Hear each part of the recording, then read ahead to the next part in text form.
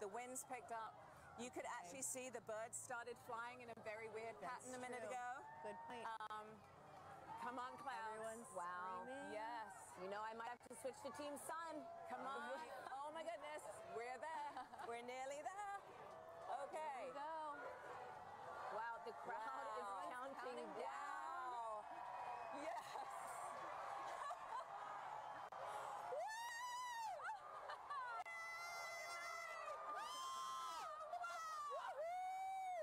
Oh my gosh, it's beautiful. Yes. Oh my goodness. That is amazing. I told you. No, go away, clouds. Go away, clouds.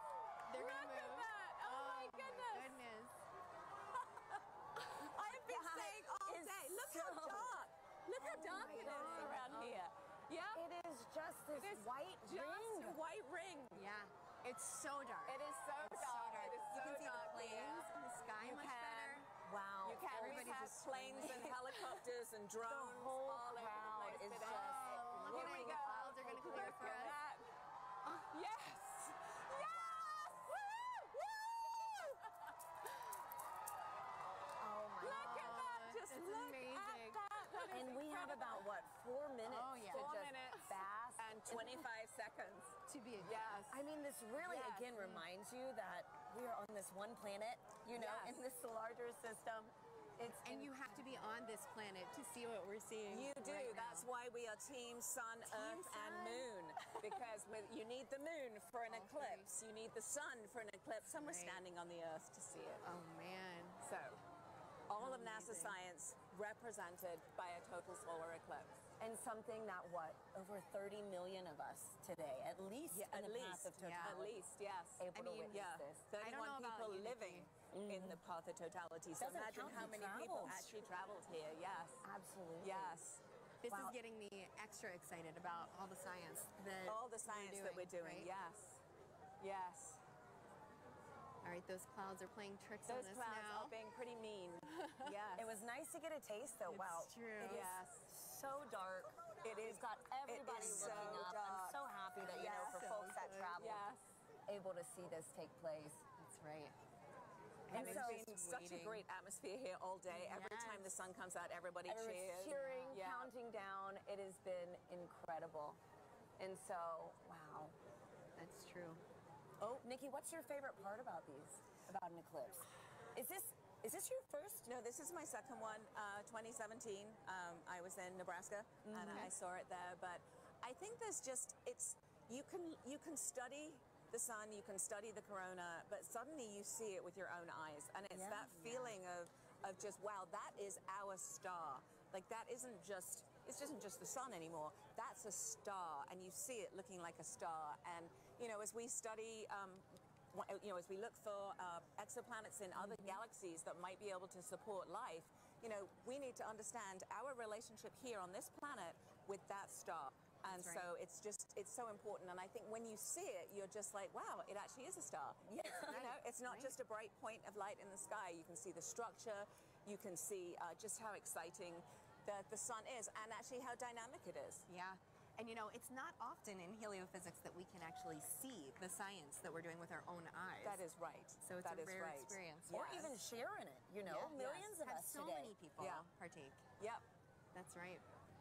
It's pretty windy too here. It It is is windy.